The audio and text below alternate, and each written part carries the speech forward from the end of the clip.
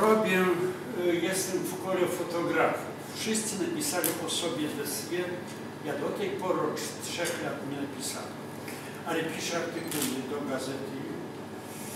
No do kilku gazet piszę. Bardziej katolickie, między innymi też do Górnoślązaka. Chociaż o sobie mogę powiedzieć najprościej. Mój ży, e, życiorys napisał Adam Mickiewicz, inwokację Pana Tadeusza.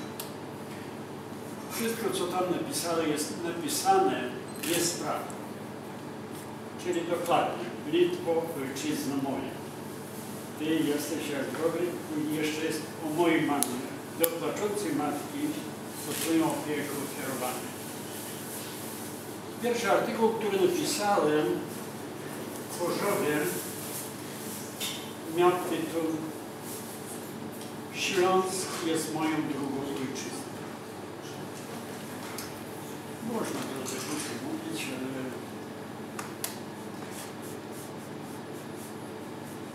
w świetle ostatnich zdarzeń wszystkie słowa tracą wyrazistość.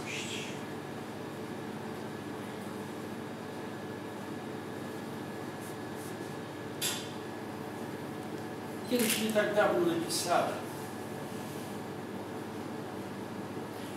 Już inne słońca im świecą. Muzyki inne grają.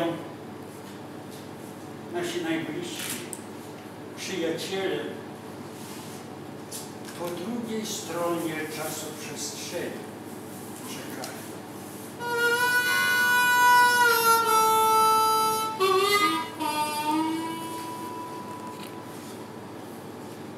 Kromkę bólu co dzień od nowa w ustach obracam. Ocet piję w nadziei, że znieczuli uodporni miejsca wrażliwa na dotyk słowa, zygzak nagłej myśli.